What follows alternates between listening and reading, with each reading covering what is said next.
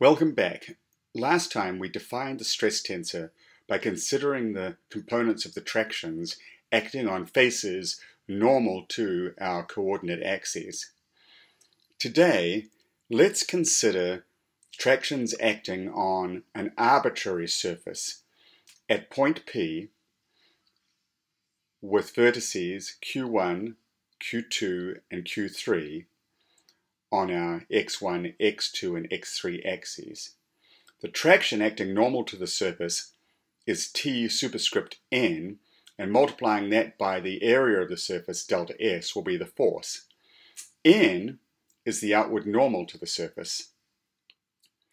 And if we were to look at the back side of this tetrahedral volume and consider that there are reaction forces on each of these faces, then we could label them minus T1 times delta S1, the area of this triangle, on the face whose normal is minus E1, minus T2 delta S2 on the face whose normal is minus E2, and minus T3 delta S3 on the face whose normal is minus E3. So again, N is the unit normal to Q1, Q2, Q3.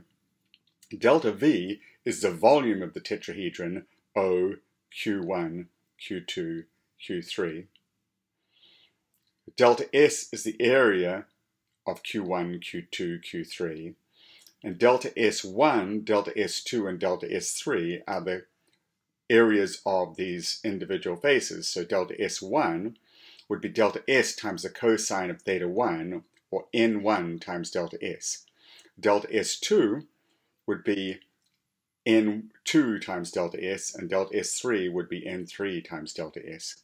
Now, let's assume that equilibrium holds not only for the body as a whole, but for any individual small part of the body, including the arbitrary tetrahedron O, Q1, Q2, and Q3.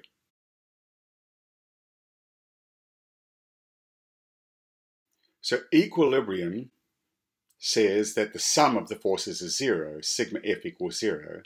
So that means that minus T1 times delta S1 minus T2 times delta S2 minus T3 times delta S3 plus Tn times delta S equals zero for the body in equilibrium.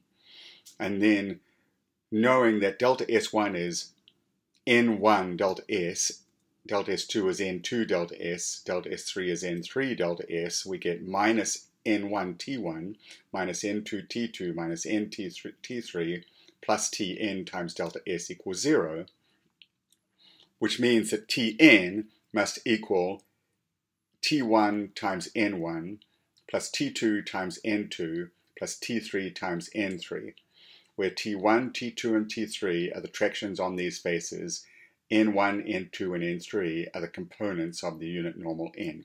In other words, the traction vector T equals NITI, and from our previous definition, Ti, the tractions acting on each of the faces, are Tij, Ej.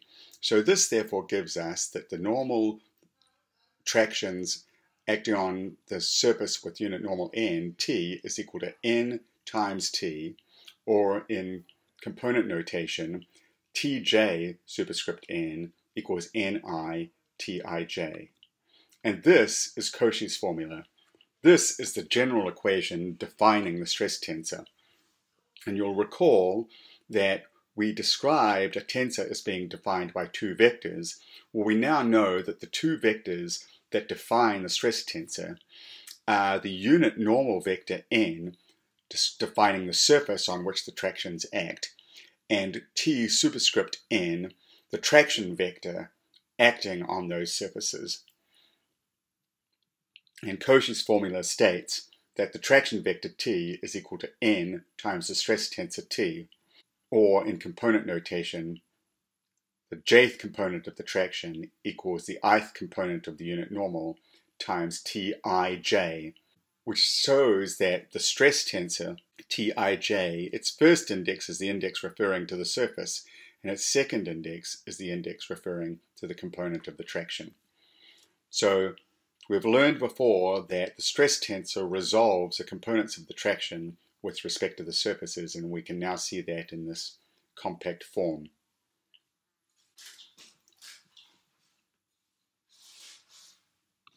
So in summary, Cauchy's formula defines the stress in terms of the traction acting on the surface with unit normal n, such that T superscript n equals n dot T, or the jth component of T equals the ith component of n times the ijth component of the stress tensor.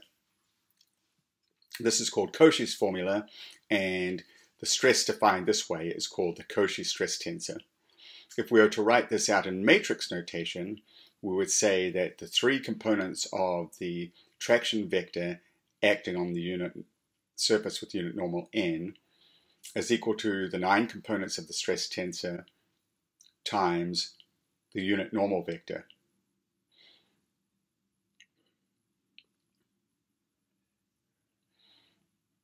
Now notice that I changed the order of this formula here. That's because this formula is equivalent to, in matrix notation, T equals T transpose N. But since we've already seen that the stress tensor is symmetric, then that's the same mathematically as T equals T. However, it's worth remembering this original form of the formula, even though the stress tensor is symmetric, because it helps us understand which index of the stress refers to the area Uh, or the surface and which refers to the component of the traction. And then just to remind you of our original earlier definition of the stress was that Tij equals Ti dot Ej. This is just a special case of Cauchy's formula when the unit normal vector n is the unit vectors of our coordinate frames ej.